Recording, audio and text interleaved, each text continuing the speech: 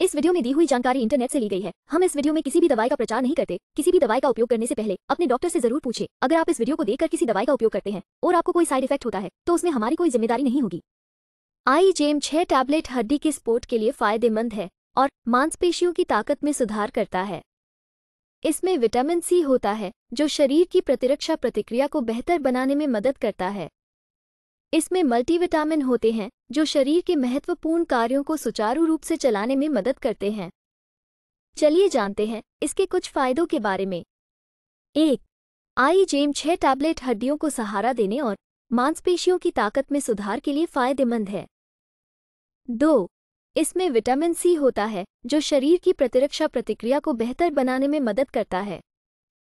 तीन इसमें मल्टीविटामिन होते हैं, जो शरीर के महत्वपूर्ण कार्यों को सुचारू रूप से चलाने में सहायता करते हैं।